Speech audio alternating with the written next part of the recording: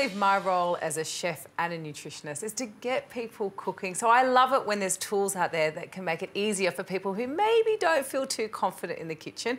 Tefal's got a great pan. It's got something called a thermospot. It's really simple. You pop it on the heat, and when that thermospot goes bright red, it means it's ready to put your chicken, fish, red meat, whatever it is. It's the perfect gauge of temperature, nice and easy. So I'm gonna do a simple piece of snapper. I've got some flat leaf parsley. It's all about good produce. You don't have to be too fancy to make something really, really special that you could serve at a dinner party or you could either, you know, just have as a, a normal dinner at night time or lunch if you want. So I've done some finely chopped fat leaf parsley. I've got some lemon zest, which I'm just gonna put straight over the fish. And then I'm also going to add a little bit of lemon juice.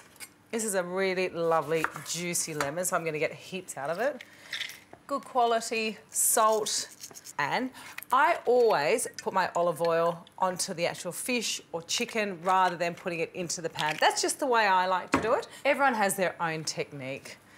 Oh, that looks fantastic. It smells fresh and clean. You can add chilli if you wanted to, but I know this is a dish that my daughter will like as well as my husband.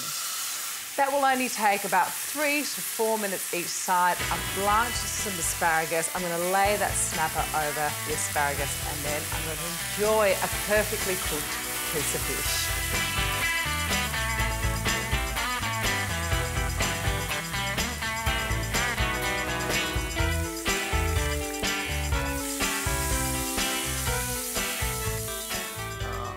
That is a perfectly cooked snapper.